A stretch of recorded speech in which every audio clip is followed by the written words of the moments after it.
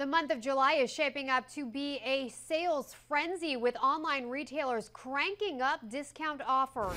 Starting with Walmart rolling out thousands of special deals, including savings on electronics and fashion items. Walmart's online sale will run from July 14th to the 17th. Amazon turning Prime Day into a summer shopping holiday. The online retailer kicking off its annual Prime Day sale on Monday, July 15th, providing more than 1 million deals worldwide, along with unlimited two day shipping.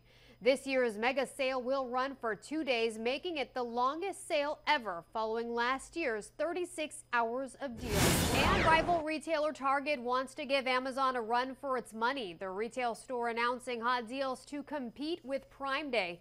The company is running what it calls deal days on Monday, July 15th and 16th, the same dates as Amazon's two-day Prime Day sales. But unlike Amazon, Target customers don't need a membership to score those deals.